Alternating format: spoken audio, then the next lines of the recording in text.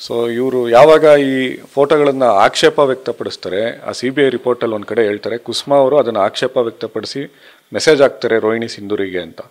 ಆ ಮೆಸೇಜ್ ಆಗ್ತಿದ್ದಂಗೆ D K Ravi ಮನೆಗೆ ಬಂದು ಕುಸ್ಮಾ ಅವ್ರ ಜೊತೆ ಜಗಳ ಆಡಿ ಮಾತಾಡೋದನ್ನ ಕೂಡ ನಿಲ್ಲಿಸ್ತಾರೆ ಅಂತ ಹೇಳ್ಬಿಟ್ಟು ಇದರಲ್ಲಿ ರಿಪೋರ್ಟಲ್ಲಿ ಸಿ ಬಿ ಐ ರಿಪೋರ್ಟಲ್ಲಿದೆ ಅದಾದಮೇಲೆ ಕುಸ್ಮಾ ಅವ್ರಿಗೆ ಬೈದ ನಂತರ ರೋಹಿಣಿ ಸಿಂಧೂರಿ ಅವ್ರಿಗೆ ಮೆಸೇಜ್ ಹಾಕಿ, ನಾನು ಅವ್ರಿಗೆ ಹೇಳಿದ್ದೀನಿ ನಿನಗೆ ಅಪಾಲಜಿ ಲೆಟ್ರು ಅಪಾಲಜಿ ಕೇಳಿಸಿದ್ದೀನಿ ಅಂತಲೂ ಕೂಡ ಡಿ ಕೆ ರವಿ ಮೆಸೇಜ್ ಮಾಡ್ತಾರೆ. ಇಷ್ಟರ ಮಟ್ಟಿಗೆ ರೋಹಿಣಿ ಸಿಂಧೂರಿ ಅವರ ಪ್ರಭಾವ ಡಿ ಕೆ ರವಿ ಅವರ ಬದುಕಿನಲ್ಲಿತ್ತು. ಒಬ್ಬ ಸಾಮಾನ್ಯ ಹಿಂದುಳಿದ ಒಂದು ಬಡ ಕುಟುಂಬದಿಂದ ಬಂದಂಥದ್ದು ಅಂತ ಡಿ ಕೆ ರವಿನೇ ಹೇಳ್ತಾರೆ.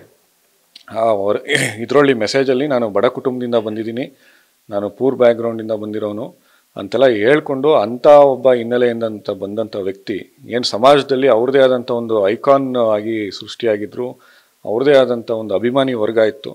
ಆ ಅಭಿಮಾನಿ ವರ್ಗವನ್ನು ಬಿಟ್ಟು ಕೇವಲ ಒಬ್ಬ ಐ ಎ ಎಸ್ ಅಧಿಕಾರಿ ರೋಹಿಣಿ ಸಿಂಧೂರಿ ಅವ್ರಿಗೋಸ್ಕರ ಡಿ ಕೆ ರವಿ ಅವರು ಆತ್ಮಹತ್ಯೆ ಮಾಡಿಕೊಂಡಿದ್ದಾರೆ.